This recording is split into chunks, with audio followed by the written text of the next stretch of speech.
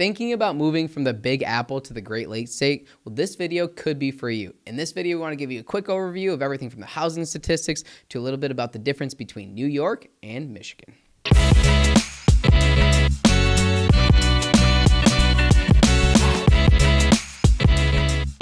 Hello and welcome to the Living in Detroit channel. Today, in this video, we're going to talk a little bit about New York City, the Big Apple, right? It's the epicenter of the world. So many things happening there, so many things to do, right? And then you might be moving from there to Michigan. If that's you, this video is for you. So we've actually had a lot of recent clients move from the East Coast and several from New York back here to Detroit to Michigan for several reasons. Sometimes we see it because of friends and family. Sometimes we see it because people are li literally trying to escape the city a little bit, having a more slow paced life, thinking Midwest, thinking sometimes even like farmland and country and all that good stuff. And so we've seen a lot of people move from cities like New York to other places like Michigan. I have recently been to New York City. I really, really enjoyed it. I think it's a fantastic place, had a lot of fun there. But this video is mostly to give you a rundown, kind of comparing New York to Michigan. So if you're thinking about moving from New York back to Michigan or to Michigan, you can have a good understanding of if that might make sense for you and kind of a brief overview. That's the goal of this particular video. So jumping right into things, we always got to talk about the weather, right? That's a big piece for a lot of people.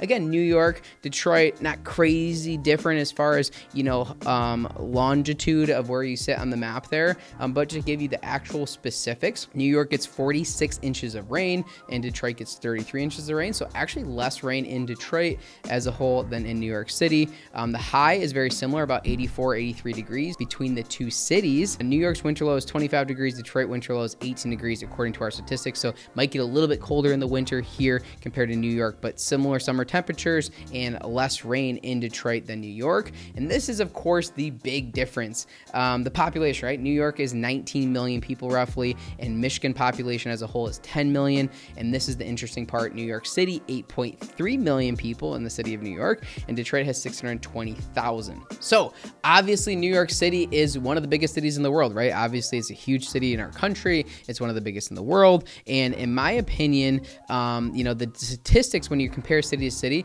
is just sort of flawed. Like, yes, Detroit city limits, Detroit at one point had several million people in it, has changed quite a bit through the years. But for the most part, Southeast Michigan, Metro Detroit is much more based on the surrounding communities. I'm not saying you don't have any of that in New York itself, the city compared to outside the city. Obviously, there's a lot of people when you start to go to New Jersey and different places. But if you look at Detroit city limits and you go a little bit further out and do general Wayne County, you start to look at four or five million people real quick. Obviously, it's not anywhere near the congestion or population as New York City at 8.3 million. However, there is a lot more people, I think, than on paper when you compare Detroit to Michigan. So just an interesting way to think about it, but obviously no brainer, drastically different city. Um, one of the things that I like about Detroit itself, if you're thinking about moving to Detroit compared to other places in Michigan, um, you still have the city vibe, but it is very much a small town, big city. What I mean by that is if you live in the city and you work in the city, you network in the city, you know, you run into a lot of the same people, you can do a lot of networking in the city, but you still have, you know, a bigger city type vibe. There's the buildings and the restaurants and the bars and all, all the great things to do in Detroit.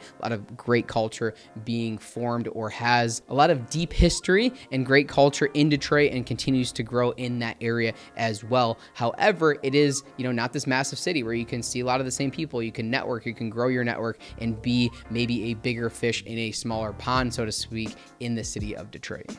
Up next, comparing schools between New York City and Michigan. Now, this is a very, very tough thing to do. There's a lot of different ways to do it. We could give total school districts, we can do student to teacher ratio, all this different stuff. We chose to go a little bit of a different direction on this particular video, which is comparing University of Michigan to NYU. Again, obviously, that's not the only school in Michigan. Uh, NYU is not the only school in New York, right? There's there's a lot of there's a lot of different comparisons here, but I think it gives you a general understanding of at least these two uh, universities and can understand understand a little bit deeper there. Also, I think that University of Michigan and NYU are kind of comparables. They're slightly different for a lot of different reasons, but I think they're somewhat comparables in my opinion, and we'll dive into the data of what that looks like. So, in-state tuition at University of Michigan about 15,000, in-state tuition of NYU $55,000. So, that's a huge difference right away. If you live and move to Michigan and are living in Michigan, in-state tuition if you can't get into University of Michigan is going to be much less expensive than NYU. Out-of-state tuition, however, is very much in alignment. So uh, University of Michigan, 53,000. Out of state tuition for NYU is 55,000. So very similar costs there um, for out of state tuition. Um, these numbers get interesting quick. Acceptance rate at U of M is 20.2%. Acceptance rate of uh, NYU is 12.5%. I think it makes sense. There's a lot of people in New York, probably a lot of people that want to go to NYU. It's a little bit harder to get into, but the acceptance rate is close to half NYU compared to University of Michigan, which is interesting because in my own head, I always imagine U of M being a great school. I think it is a great school, and I think NYU also being a great school, but the acceptance rate is pretty interesting to see that, that ma massive difference there. Um, student teacher ratio is another one. University of Michigan 12 to 1, NYU 8 to 1, so a little bit better student teacher ratio um, at NYU compared to University of Michigan, but both very, very good. You know, 10 roughly people for both universities uh, per student teacher ratio is a, is a, good number in my opinion. And last but not least, is the big number. Of course, it's going to be graduation rate. I think this shows us a couple things uh, right when people sign up. How long do they stay? Do they like the university? I think it also shows us when we talk about graduation rate of how hard is it to graduate in some in some aspects. So, um, University of Michigan graduation rate 90%, NYU 86%. So it's hard to get into both these schools, right? Once you do get into these schools, the graduation rate is pretty high. The major difference from my analysis here is really going to be in-state tuition at University of Michigan compared to in-state tuition um, in NYU. Drastic difference there, you know, 15,000 compared to 55,000. Now, um, another thing to consider, we don't talk about a lot on this channel, but is an interesting uh, thing to talk through since we're on the topic. If you live in the city of Detroit and grow up in the city of Detroit and go to Detroit public schools um, and graduate from Detroit public schools, the city will actually, between the city and the state funding, they will actually pay for you to go to college. So if you grow up in the city of Detroit, you go to Detroit public schools, you get free college should you meet certain criteria. And it's not crazy hard. It's pretty much like graduate and be from the area. That's about it. I think there might be a couple other criteria which we could put in here, but it's an interesting statistic um, or interesting thing to think about. So if you're thinking about moving to Detroit, you're going to school, you're going to public schools in Detroit, then you could get free college, which is a nice bonus. There's also the Kalamazoo Promise, which I think still exists um, as well. So if you're moving to the west side of the state, Kalamazoo has a similar gig where if you graduate from Kalamazoo schools, it might be just for Western, but I think you get um, free tuition throughout the state as well too. So lots of things and programs geared towards hopefully hopefully that graduation rate um, in high school to be able to move into college and have it be affordable options for many folks. Next is going to be public schools. Again, I don't want to spend too much time on education here because it's kind of a hard thing to compare, but just to give you interesting statistics, uh, New York has 4,360 schools. Uh, Michigan has 2,959, so um, obviously quite a few more schools in New York, 668 districts. Michigan still has 539 school districts throughout the state.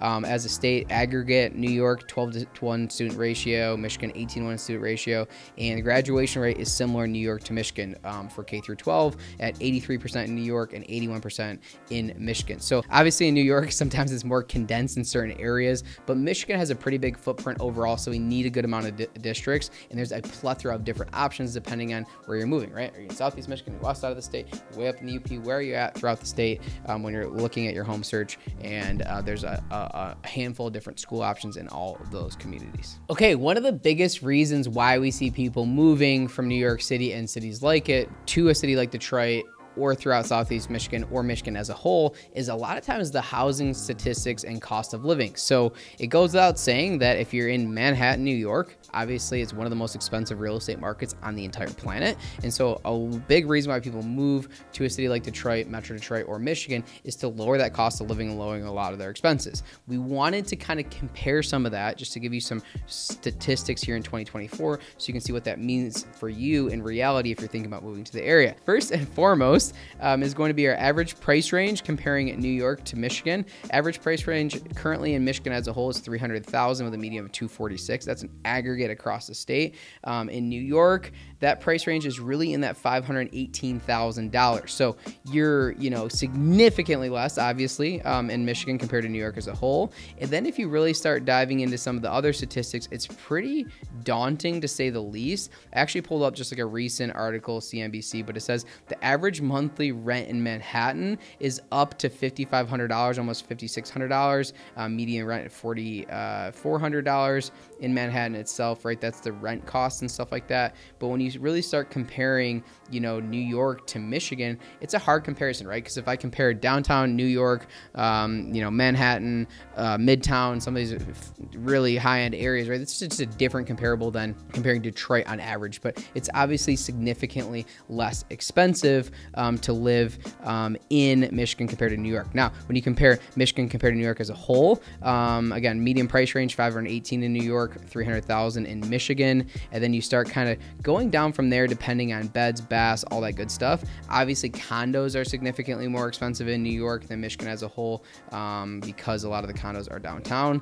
Um, days on market is an interesting statistic though. So Michigan is averaging 29 days on market and New York 45 days on market. So homes are selling significantly faster in Michigan, even over, you know, New York as a whole, which are more expensive. So it kind of makes sense, right? Because the homes are so much more expensive. It should take a little bit longer to sell. There's probably a little bit less um, demand. And again, one of the reasons why there is so much demand in Michigan currently is a lot of people are moving here to have more affordable housing, which makes sense. The houses are less expensive. There's more uh, there's more potential uh, demand for that type of marketplace, which is why our days on market is lower. And then you start looking at median price per square foot. So we talk about the price per square foot, meaning total size of the property, uh, the total size of the property. I'm sorry, total price of the property divided by the total size gives you your price per square foot, right? So we start to see how much each literal square foot is in different places. And Michigan as a whole is $177 per square foot. New York is $423 per square foot. So well over double the cost. And again, I know you start going to downtown, you can have 2000 plus um, dollars per square feet in certain areas. So that obviously influence things quite a bit. Um, and then kind of just comparing, you know, different types of homes.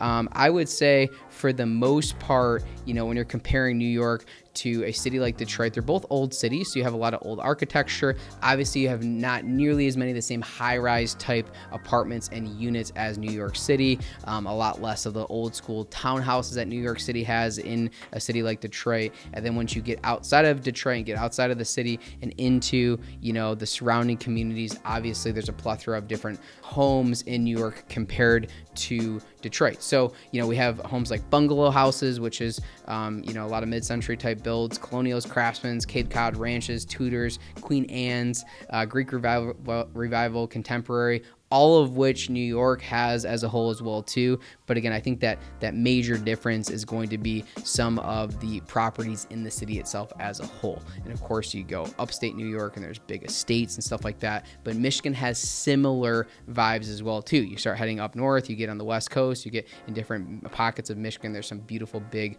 really high-end luxury mansions and estates on lakefront property compared to oceanfront property in New York. So lots of parallels there. Again, comparing New York City to Detroit or New York City um, to any city in Michigan is going to be a, hard comparison. Now, if you start aggregating, you know, Michigan compared to New York, there's a lot of similarities, I would say, as well too. You have, of course, city living. You have these bigger towns, similar to New York City. When you when you start heading north, west um, in the state of Michigan, there's a lot of beautiful scenery, a lot of really cool places to check out. We have tons of lakes. Obviously, in New York, you have the ocean frontage and stuff like that, but we have tons of lakes. We have the Great Lakes. And so you get kind of the best of both worlds, which is why I think it's such a sought out area, which I think is one of the reasons why a lot of people are moving here. They're leaving the city, they can move to a city like Detroit or one of the other cities throughout, you know, Michigan as a whole and can still have that up north feel. You can travel throughout the state and enjoy at a much more affordable rate than a state like New York City. So lots of things to do. Obviously in New York, there's some beautiful things to do as well too here in Michigan. You know, deep dive in our channel, we can we, we deep dive a lot there, but we wanted to try to compare as best as possible New York to Detroit because we keep getting calls from people moving from New York City. So we figured this video will give you a brief overview, overview, talk about some of the housing statistics, some of those general um, differences so you can have a better understanding. My name is Matt Talbot. This is the Living in Detroit channel. Thanks so much uh, for checking out our video comparing New York to Michigan.